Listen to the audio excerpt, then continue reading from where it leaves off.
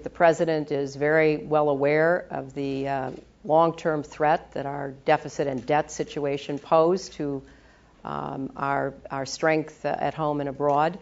Um, and other nations, uh, certainly during the last uh, year, put that concern uh, on a back burner while everybody tried to stimulate themselves out of the deep recession that uh, we were facing.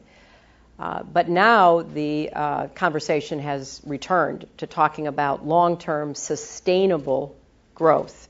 And sustainable is not just about the environment, it is about our fiscal uh, standing.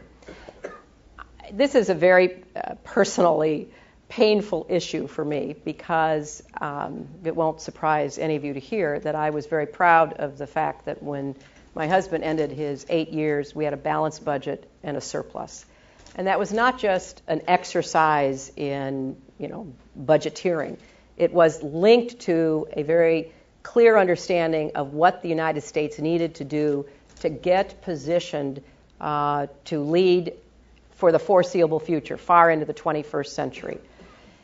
And when President Obama came into office, he inherited a very different situation. And I watched this as a senator from New York. I voted against tax cuts that were never uh, sustainable, wars that were never paid for.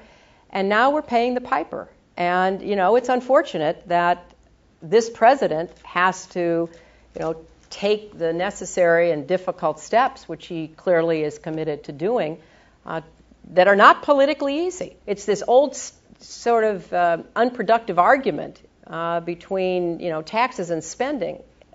At the end of the day, you should only tax to the extent you need to meet America's needs at home and abroad. And you should only spend what you need to meet America's needs at home and abroad.